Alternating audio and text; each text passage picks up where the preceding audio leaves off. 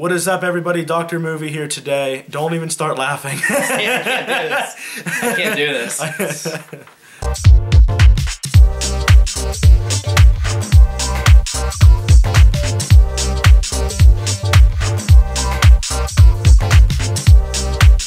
What is up, everybody? The doctor's in with a special guest today. I have talked about him a couple times in previous videos. He's probably my number one fan, and we also discuss movies every day on Facebook and Twitter, and he calls me at least, what, twice a week? Yeah, pretty much. To bother me. It is my brother. We call him Sergeant Prizzy. That's kind of a nickname because he kind of runs our family. But his real name's Sam. So, Sergeant, it's a big year this year. I can't believe it's over. We saw so many films. 2013 and 2014 is approaching quickly, and I exactly. Am, oh, I'm so excited.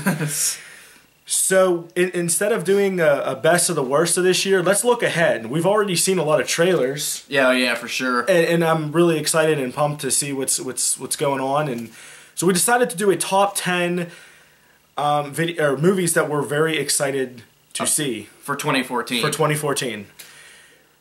I, think the number one thing that you and I talk about more than anything is Marvel. Yeah, for sure, Marvel. Marvel all day, every day. I know previously Dr. Movie has talked about Thor the Dark World, and I love Thor, just putting that out there for a big Marvel fan. So that was a great movie to end the year of 2013. With Marvel, because I don't think, is there any more Marvel coming out since Thor? No. Anyway, so let's jump into our top 10. Number I don't want to. You know, I'm not even gonna give numbers for these. Screw that. Yeah, um, we're just gonna talk. We're just gonna talk about them. The movies of 2014 that we're most anticipated about.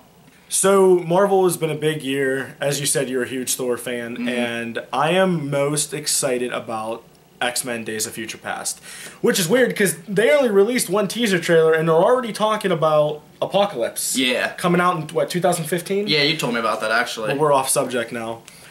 How do you feel about the new X Men? Uh, I'm actually really pumped about it, to be honest, because uh, me in general, I've always been a big X Men fan. Love Wolverine. Loved all what X Men one, two, and three.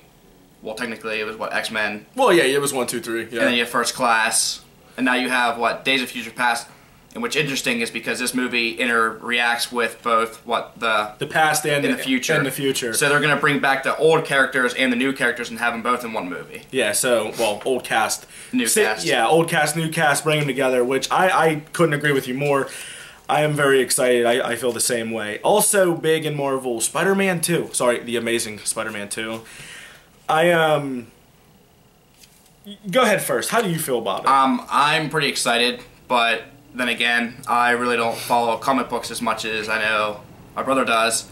So therefore, I'm excited to see it because I really enjoyed the first one and how they rebooted the whole. This is why I wanted to have him because, as he said, I am a comic book guru. He would disagree. I'm excited on a lot of notes. I haven't talked about it yet. I didn't even want. I, I saw so many good videos on the trailer talk, but I didn't really want to know, go into detail or anything. So I, am looking forward to it. I, I, just have one little fear in, and that is that there's going to be too many villains. There's going to be too much going on, and the story's just not going to flow nice. Other than that, I'm actually very excited. And a, I probably my top Marvel movie next year that's coming out is is Captain America: The Winter Soldier. My favorite villain of all time has to be the Winter Soldier. I'm, I'm not going to talk about his name. I'm not going to go into detail I just really love Chris Evans. I think he's an amazing star of the of the you know film, and he is a, the best person to play Captain America in my opinion. What do you think about it? Um, I'm very excited for it. I'm not going to give away the name of the Winter Soldier or anything either, since he did not. Um, uh, when I first saw Captain America, I wasn't really too big on it, but after I watched it like two or three more times again through Netflix, uh, it really caught my eye. So now I'm very excited to see uh, the new one coming out in 2014 this year. Right. And to kind of keep going with the sci-fi superhero stuff, I'm really, really pumped, and I don't know why, about the new Transformers uh, Age of Extinction because I love Michael Bay, first off, and I thought he did a phenomenal job with the first three films. And I- I'm kind of curious to see what they do with the storyline. We haven't really saw much. All we really know, Mark Wahlberg's in it. and not Shia LaBeouf, who the- was in the what the main the first what three? Yeah, and it was bad. So- it was bad enough when Megan Fox left, and they added that new girl, Yeah. and then I forget her name.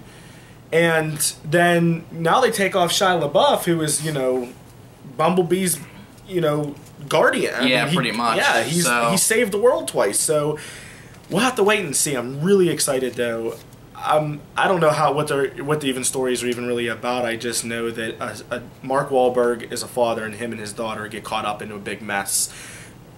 We'll have to wait and see. Yeah. I'm really, really pumped about that. So let's take a let's take a, sh- uh, a shift here from all this superhero talk to not so superhero talk. I already did a video on it. Godzilla. I am very pumped about Godzilla.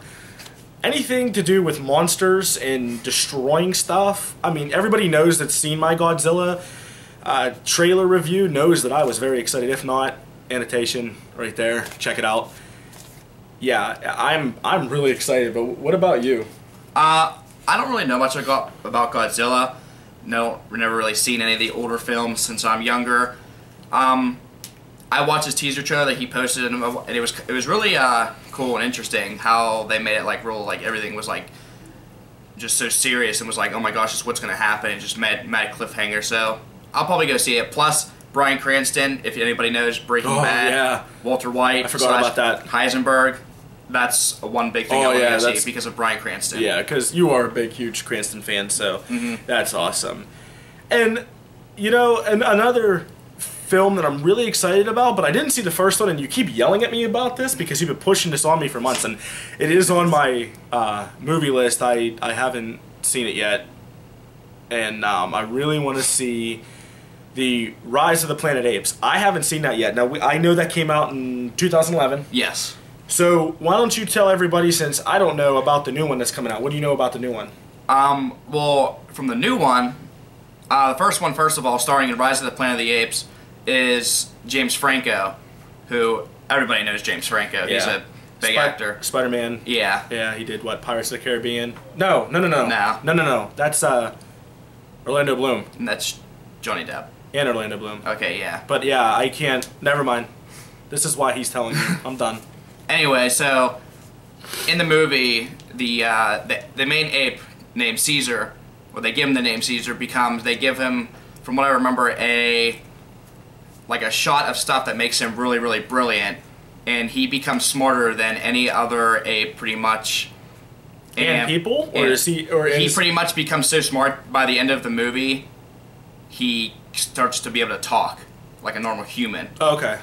And basically, what he does is he gets he he realizes that his ape race is like his race and not the human race, and he gets all the apes in there to basically leave and go to the forest where they're supposed to be belong. And from what I'm getting from this new one, which is coming out, Dawn of the Planet of the Apes, which I'm very I don't know about upset or just what they're gonna do is James Franco is not in this one. And from what I got from the teaser trailer that I saw, that it looks like it's gonna be Caesar leading all of his people to go attack the humans now. So you- when you mean the people that you're talking about, the the apes, The, the- the human race, like the apes are gonna be. It seems like that they're gonna be like going after the human race. Now, I don't know about. I, we keep talking about superhero movies and, and weird stuff like that, and monsters and dragons and uh, apes, and but I'm I'm really excited for I Frankenstein. Yeah, I like all those those types of films. So Frankenstein, it looks like, from what I read and what I saw, it's not really Frankenstein. It's the son of Frankenstein. Is is what I'm getting at. I don't know much about Frankenstein. I've never seen. I mean, I mean, I've seen bits and pieces of Frankenstein monster, like old, old, old black and white movie or whatever it was. But again, since I'm younger, I don't know. All I know is it was just a monster that called Frankenstein. Yeah. more or less. But anyway, he goes after, it looks like, and he has to save the planet from all the Lycans. I'm pretty sure they're Lycans, or vampires, or some sort of awesome looking monster. And the CGI looks really, really cool. And it just seems like one of the, kind of like a priest that's just non stop action killing fun. And I Oh, like those kind of movies.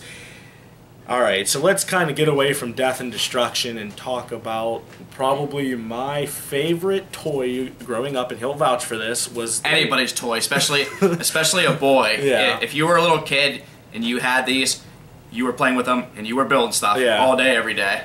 The, the Lego Movie. I, I, I'm just. First off, you have such a great cast. Second off, it's Legos, and, and, and they really did a good job, like you know, capturing the the faces, and they really made it look like Legos. And you have Morgan Freeman and um, Liam Neeson, and just all those really cool, like just little cameos, which I really enjoy too. And the story, awesome, Oh, plain yeah. and plain and simple. I think it comes in 3D too, which I'm actually really excited about. I'm very excited for it. I'm gonna go see it. Before we uh, we got two left, so we're gonna let you talk about yours. Because since we've already talked about Heisenberg, so why don't we talk about Jesse Pinkman? Oh yeah. If for anybody again that watches Breaking Bad, Jesse Pinkman, who is played by the star of Aaron Paul, who I loved in the show. I did too. and he was an amazing actor. There's a new movie coming out called Need for Speed. I don't know much about it, but Aaron Paul, love him, so I'm very excited for it. All I know is it has something to do with, I'm going to go with racing, some type of racing movie. I don't know if it's like the Fast and Furious series racing or if it's something completely different. I think it's it's like Fast and Furious in the sense where nice cars and for fast cars, women and a crazy lifestyle, but I think it's more racing for money and stuff like that. We're kind of like in the beginning. I don't know. I, I really don't know. But from watching the, the, the trailer, it seems just crazy. Oh, yeah. The cars alone are nuts. You know, ten years later, back in 1994, I remember watching this film all the time with my cousin and friends. Dumb and Dumber. I'm a huge Jeff Daniels fan and an even bigger Jim Carrey fan. I love Jim Carrey. Yes. And for them to come back, I think it's pretty gutsy Yeah. because I'm very anxious to see it because Yeah. whenever they do this kind of 10 year movie thing, it's either a good movie or bad. or bad. There's no like, oh yeah, that movie was okay. it's either yeah. like either wow, that was really good, or that movie just nothing. It's just- Yeah. We'll have to wait and see what it's about, but we're very excited and you know, that's just a few of the movies that are coming out. There's a million like, you know, there's there's you oh, know, Oh, yeah. Hunger Games, Hercules. There's just a million of these movies that are coming out. And it's just I think it's going to be a good year. I don't know how they're going to top 2013 because there's just been a million movies and it's been a good year overall for 2013 and I'm really excited. I know you're really excited because we talk more about future movies than we do what's now. Thank you everybody for joining us on another video. And I'd like to thank Dr. Movie for having me as a special guest. always. And if you like this kind of dynamic duo type video, let us know. Please leave the comments. If you want to see more with him, just let us know. Well, I'll be we'll back. We're both college students, so we'll be home back in the movie den for a couple couple weeks. Yeah. And always, don't forget to follow me on Twitter. Don't forget to like this video, and do not forget to subscribe. The doctor's always looking for patients and new movie fanatics. So, as always, everybody, happy watching and take care.